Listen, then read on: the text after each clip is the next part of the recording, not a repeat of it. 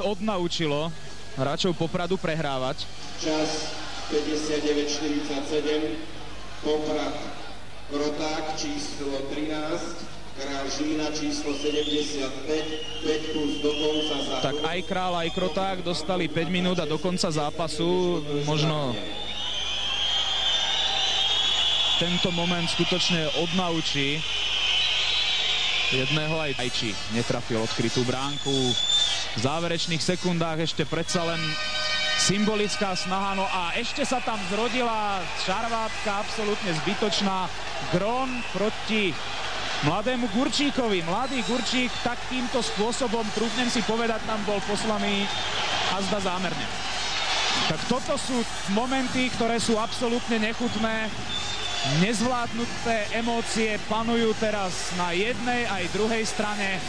To je skutočne niečo neuveriteľné. Ešte sa dokonca pustili aj pred Žilinskou bránkou zapasy hráči, ktorých mená vám pri najlepšej vôli zrejme nepoviem, pretože už sa stihli vyzlieť z dresov, tu ich vidíme.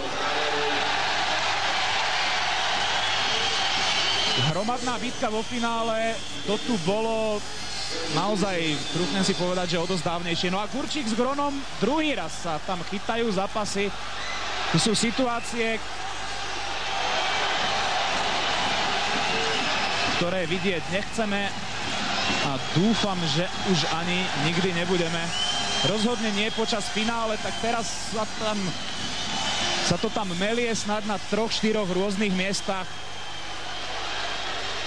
Ťažko povedať, čo si o tomto myslieť. V prvom rade zagratulujeme Žilinčanom k víťazstve. Aj keď toto, čo sa udialo vlastne už po uplynutí 60. minúty neguje všetko pekné, všetko krásne a že toho bolo dosť, čo sme videli počas tých minút, keď sa predovšetkým hral hokej. 16. apríla Takto vznikla celá situácia. Gurčík e, dávno po uplynutí riadnej hracej doby sa tam úplne umyselne vrhol na Grona. Toto nezdobí hráča, ktorý bol pri jednom krásnom úspechu slovenského hokeja pri striebornej medaile 18 -ky.